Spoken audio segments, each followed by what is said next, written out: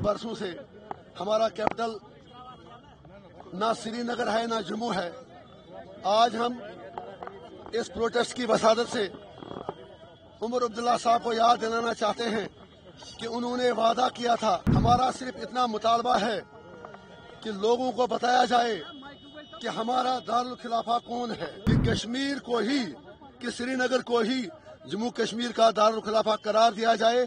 अगर ऐसा मुमकिन नहीं तो फिर दरबार मुँह को बहाल किया जाए। वो सिर्फ़ वादे करते हैं और पलट जाते हैं। अगर उमर साहब को जम्मू कश्मीर का पलटू राम नीतीश कुमार न कहा जाए तो बेजान होगा। जम्मू कश्मीर में हर साल दरबार मुँह हुआ करता था। सरमा के दौरान हमारा कैपिटल जम्मू होता था और गर्मियों में कश्मीर होता था। लेकिन गुजशत कई बरसों से हमारा कैपिटल ना श्रीनगर है, ना जम्मू है।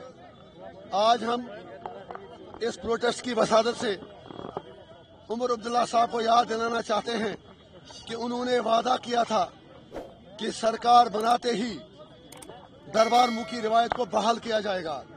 हमारा सिर्फ़ इतना मुतालबा है कि लोगों को बताया जाए कि हमारा दारुल खिलाफा कौन है। आज हमारी आवाम जो है उन्हें पता नहीं कि उन्हें जम्मू जाना है या श्रीनगर जाना है।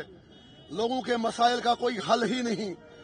लोग परेशान हैं कि उनकी फाइलें श्रीनगर में हैं या जम्मू में है।